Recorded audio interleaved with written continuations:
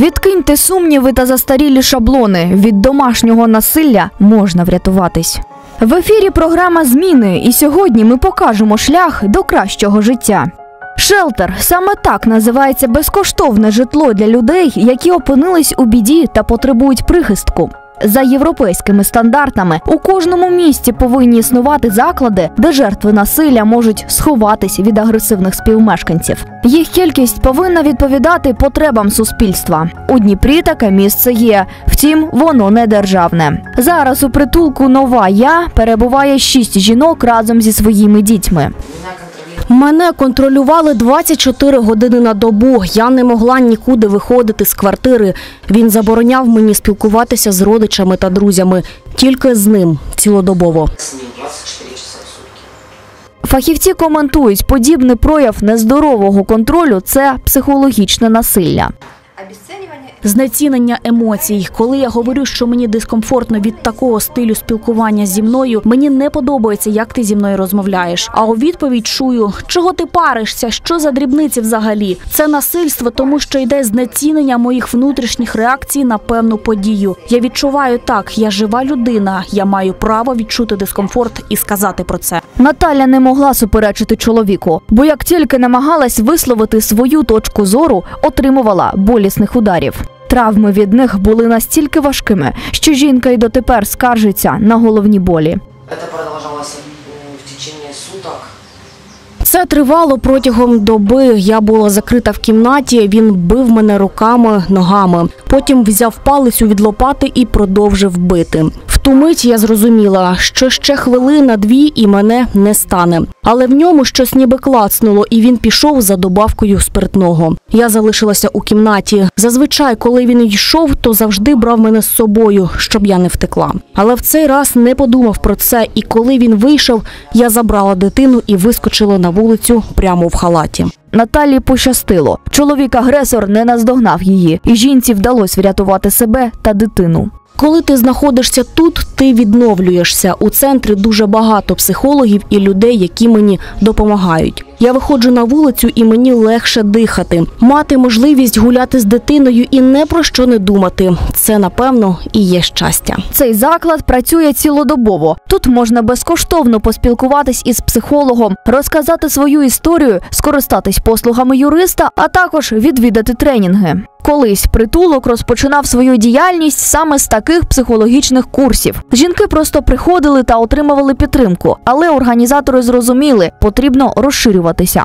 І коли вже на одній із груп жінка сказала: добре, ви тут говорите правильні речі. Ну чудово, я можу змінити до цього ставлення, я буду щось робити. Але ж я живу в однокімнатній квартирі з агресором, і кожного дня, коли він відкриває ключем двері, я починаю боятися. От якби зробили хоча б одну квартирку для того, щоб жінка знала і розуміла, що вона може кинути все і піти. І шелтер відкрили. У так зване безпечне місце відразу звернулось безліч жінок. Людмила згадує, за весь час існування притулку жодне місце не пустувало. Усі ліжка завжди зайняті, а іноді навіть доводиться діставати розкладушку для тих, хто не може чекати у черзі. И, собственно, шелтер мы открывали. І, власне кажучи, ідея відкриття шелтера виникла, коли однієї з наших клієнток не стало. Її вбив чоловік. Знаєте, вона була така тихенька. Приходила на заняття з синцями і мовчала. Отака є позиція жертви. Тихо, соромно, страшно. страшно, не хочется говорить. У притулку є так звана таємна кімната. Сюди заходять, щоб виплеснути агресію. Тут можна кричати, стрибати або навіть лупцювати манекена. Справа у тому, що у жінок, які нещодавно вирвалися з полону насилля, накопичується багато негативних емоцій. Вони досі гніваються на своїх колишніх чоловіків. Тому психологи радять позбавлятися від злості саме таким чином. І як показує досвід, це дійсно допомагає. Иногда девочки принимают решение и питаются вместе.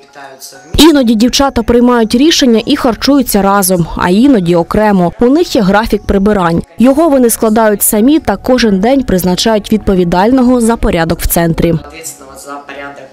Жінки слідкують за порядком у квартирі, виховують дітей та ходять на роботу. Знаходитись у центрі можна півроку. За цей час мешканці стають на ноги та виходять у самостійне життя. А які ж соціальні заклади для потерпілих від насилля є на рівні міста? Запитаємо у представників влади. У місті функціонує центр е, матері та дитини, де жінки на сьомому та дев'ятому місяці вагітності та від народження з дитиною від народження до 18 місяців, які також в складних життєвих обставинах або постраждали від домашнього насильства, можуть звертатися там як тимчасовий притулок для них. Тож ми завітали до цього центру. Сюди приїжджають матері з немовлятами на руках, коли більше не мають куди йти. У кожної породіллі своя життєва історія. Якщо б не було цього центру, я не знаю, що б я робила, е, ну, де б я зараз була, тому що е, у мене дуже складна ситуація. Каміла виховувалась у дитячому будинку з 11 років. Дівчина має рідну матір, але та мешкає у іншій країні і ніяк не допомагає. Лише годує обіцянками. До центру молода матуся приїхала на сьомому місяці вагітності. Тоді майбутній батько відмовився від дитини, і Камілі більше нікуди було звернутись. Сьогодні вона виховує своє маленьке щастя та вірить, що все в них буде чудово. Мешканці цього центру перебувають на повному державному забезпеченні, а також отримують психологічну та медичну допомогу. Тут працюють практичні психологи і медсестра, яка систематично оглядає малюків. Таке утримання в центрі наближене до сімейного. Це, по-перше, криша над головою. Це відсутність оплати за будь-які комунальні, послуги. Це повністю надання продуктів харчування на неї та на дитину. Звернутись до центру можуть не тільки молоді матері у складних життєвих обставинах, але й жінки, діти яких постраждали від насильства у сім'ї. Условия Умови для життя тут буквально всі є: і харчування, і засоби гігієни. У нас з крихіткою окрема кімната. З нами спілкується директор центру, а також психологи та юристи. Користуватись соціальними послугами можна до одного року. За цей час жінки повинні влаштуватись на роботу, заощадити кошти та спланувати своє подальше життя.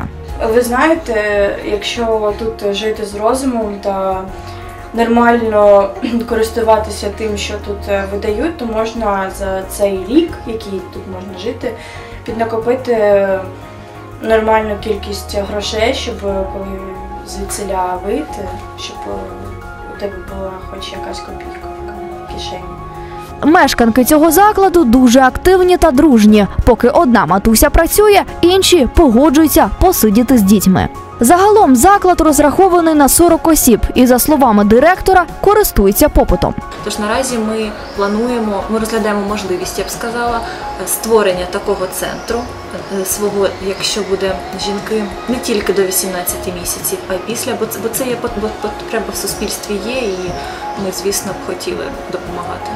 Від сліз розкаяння до безконтрольної агресії. Чоловік Наталії змінював настрій декілька разів на день. Він то пиячив і влаштовував скандали, які найчастіше закінчувались побиттям, то благав вибачення. Он очень сильно умел э. Він дуже сильно вмів переконувати. Казав, що цього більше ніколи не повториться. Падав на коліна, робив дуже жалібний погляд, трусився і плакав. Це був дуже сильний психологічний вплив. Його просто ставало шкода.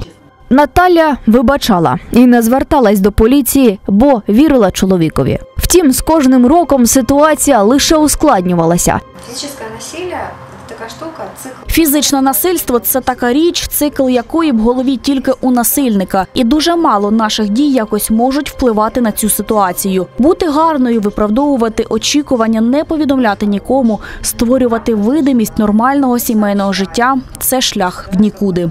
Жінка наважилась розірвати коло насилля, коли почула від своєї донечки: Мамо, я більше не хочу жити з татом, мені страшно.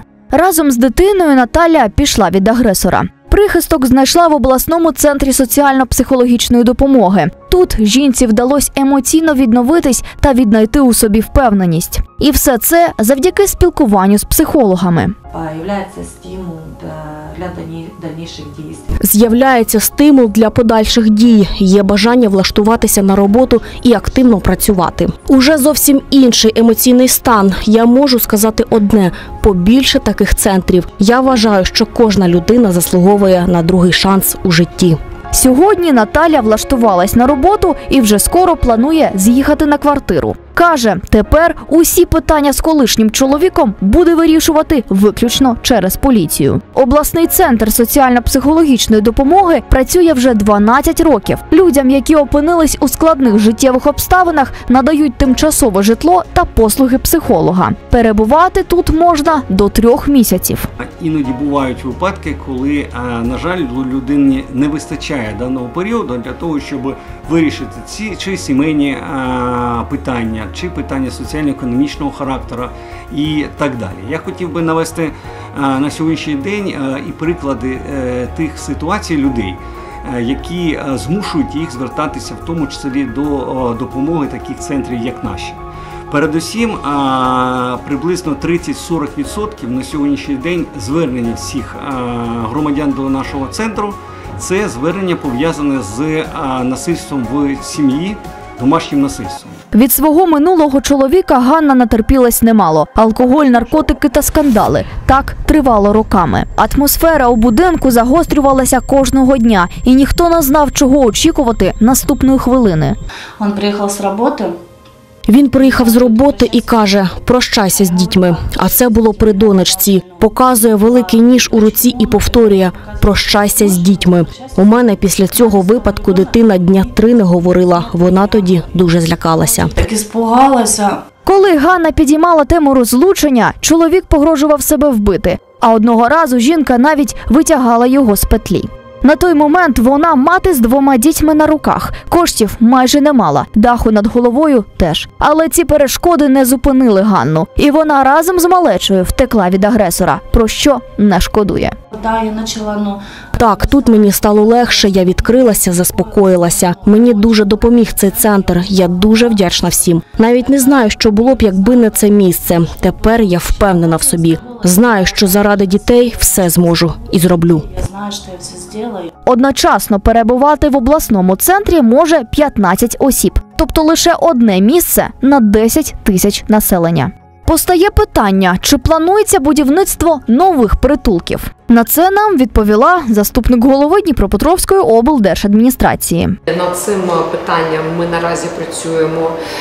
На сьогоднішній день є регіональний е, план заходів щодо виконання закону України про запобігання та протидію домашнього насильства, де чітко зафіксовано і, і терміни, коли ми повинні створити такі центри. Тож є два об'єкти, які в майбутньому можливо будуть саме цими центрами. Сподіваємось, плани втіляться в життя, і жінки отримують таку необхідну допомогу. Тело Тіло належить тільки нам. Торкатися до нього право має тільки та людина, якій ми говоримо так можна. Ніхто не має права доторкатися до нас без нашого дозволу. Пам'ятайте про це і бережіть себе.